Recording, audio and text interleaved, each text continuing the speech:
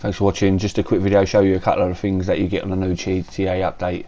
Um, when I joined the server, there was this the uh, melee kill as many players as you can within a set time. Yeah, which uh, when I looked at the map, it grouped a lot of the players together in, in one in the city. So uh, that was quite good to see. Um, there was also a werewolf update, which I haven't seen yet, but apparently uh, one player turns into a werewolf and everyone has to try and kill him. The, the werewolf has um, is faster and a bit stronger than obviously the aver average player, which I didn't get to see, which is on the update. But that sounds amazing. Yeah, it sounds like a lot of fun. So um, I'm looking forward to playing that. Um, I also found this on the dock.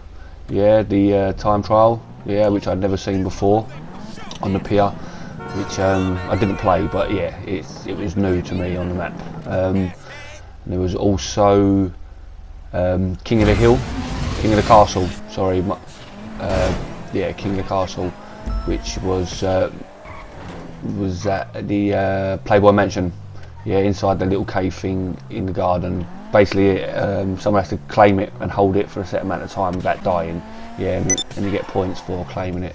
And there's me just getting to it now. Yeah. Um, there was also steal as many cars as you can within the set time. Yeah. Which I, I, I, I was um, causing a traffic jam when I done mine, so I participated in that. There's me getting out of my tank and I had a queue of cars behind me. Yeah, it was quite fun, but you do get chased by the police. Yeah, so you have to just try and avoid being shot and all the and the rest. Yeah. Yeah, which was uh, quite fun, but uh, it was hard with the uh, police chasing you. But um, yeah, it's, it's no, it's good. It's good to see new game modes and spontaneous things in the city. It's just fun to play.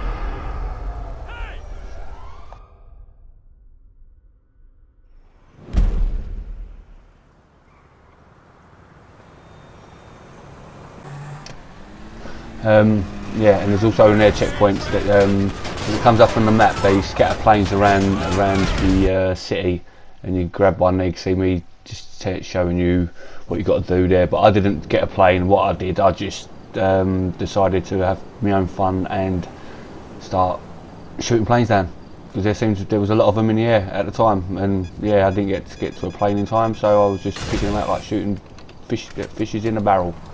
Yeah.